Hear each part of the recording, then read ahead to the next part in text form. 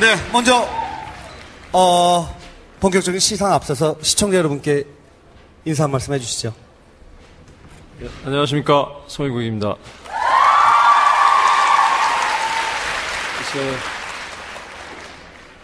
제가 이 자리에 섰던 때가 방금 전 같은데 벌써 1년이 지나갔네요. 1년 동안 MBC 드라마 시청해 주신 그리고 사랑해 주신 시청자분들께 진심으로 감사드립니다. 네, 그래요.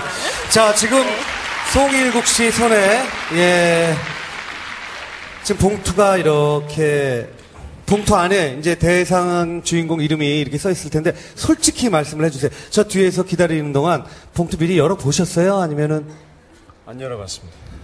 실제로 안 열어봤습니다. 어, 진짜로 안 열어봤어요? 예, 송혜국 씨가 무슨 신동엽 씨 같은 분인 줄 아세요.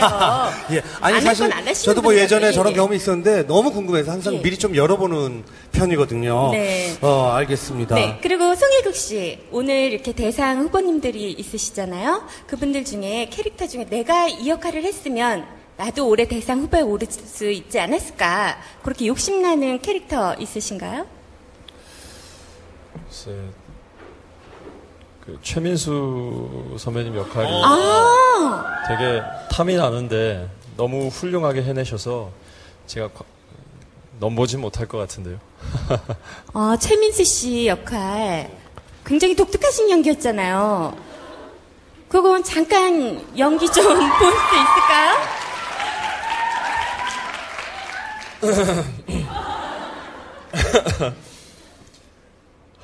덥죠?